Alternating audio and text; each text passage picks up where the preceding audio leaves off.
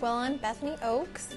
I am from Owensboro here. I'm a biology major and I chose WKU Owensboro because it's close to home.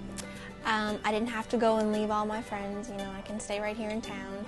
My brothers went to Western in Bowling Green and I wanted to go there too, but I didn't want to leave home. I didn't have to go and leave all my friends, I get to stay right here in town. Um, and it's also way more affordable. I don't have to pay for a room and dorm. You know, I can still stay in my own home, my nice room. Personally, I'm kind of shy, and so the smaller class sizes help me to feel, you know, not too uncomfortable.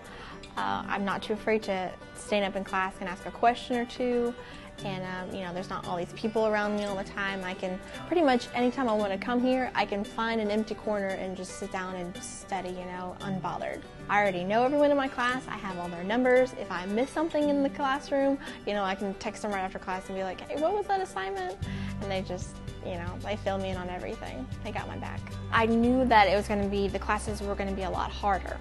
Uh, so I was kind of nervous, like, can I do this? You know, can I manage on my time? Do I need to quit some of my jobs to work more on my studies, but I haven't had to so far. You know, it, it's been more difficult, but very manageable. I can, I know that I can do it. So far, I just want to get my bachelor's in biology and work in a, in a lab as a lab tech. But um, my professor here, he is wanting me to go more, get more involved. He wants me to get my master's, and so I kind of wasn't planning on it, but I think maybe now I might start, you know, I might get my master's. We'll see.